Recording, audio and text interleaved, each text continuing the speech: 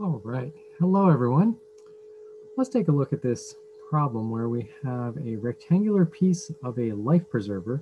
I don't know why someone would cut apart a life preserver, but anyway, here we go.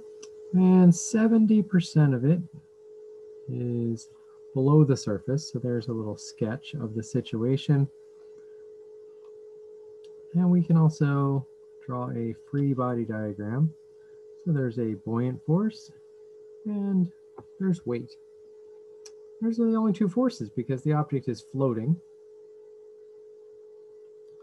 What else is known? Well, the length is five centimeters or 0.05 meters. And the width is four centimeters or 0.04 meters. And the height is 0.03 meters. And we know this part that's under the water is 70% of the total. And that's about all we know. All right. Well, let's see what we can do about figuring this out. I've written down some of the usual equations that we've been using in this unit. We know we're going to be looking for the mass, and we're also going to be looking for the buoyant force.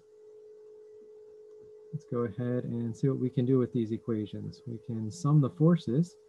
Buoyant force minus the weight is equal to zero. So the buoyant force is equal to the weight of the object. So we know that much. We also know the volume uh, equation here.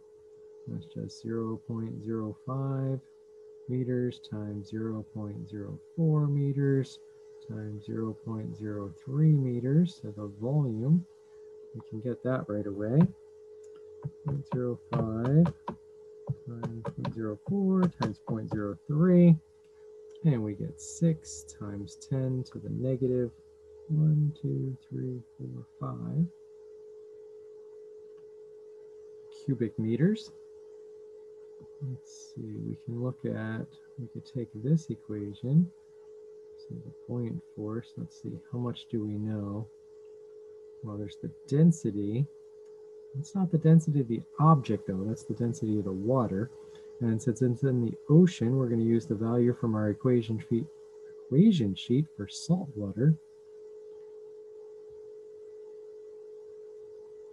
G, remember that's a scalar. And then we've got our volume here. And here we can calculate our buoyant force at 1025 times 9.8 times 6 times 10 to the negative fifth.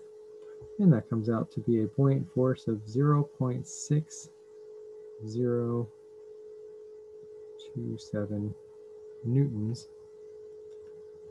However, if we look back and we say, wait a minute, what volume did we use?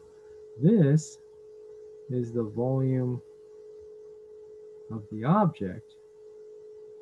But this volume is supposed to be the volume of fluid displaced.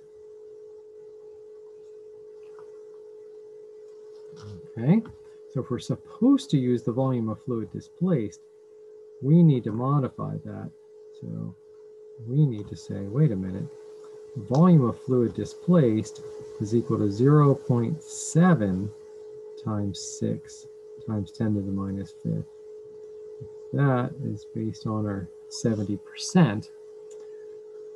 And so that, let's see, 6 times 10 to the minus fifth times 0.7, that's going to be 4.2 times 10 to the minus fifth cubic meters. And then we put that value in there.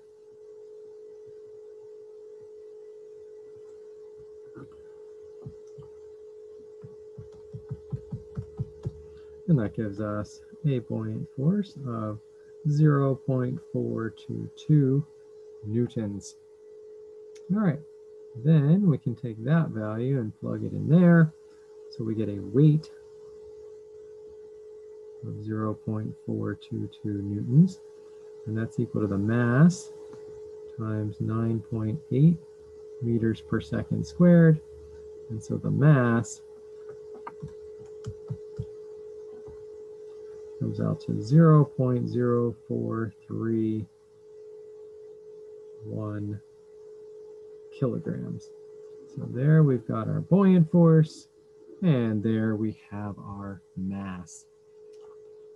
Our mass 43.1 grams, and it compares with the answer given at the top. We're all set. Our solution is complete. We solved for both the mass and the buoyant force. We got positive values for both. The units worked out to what we expected. Were the answers reasonable? Well, 43 grams, that's well, you can see this is well less than a kilogram.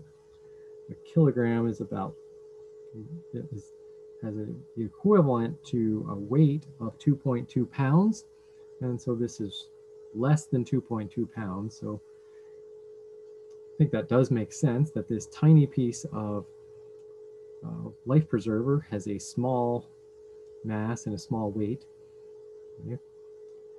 And a buoyant force, well, it's a relatively small buoyant force, and that makes sense for it being a small mass. So as far as we can tell, the answers are reasonable.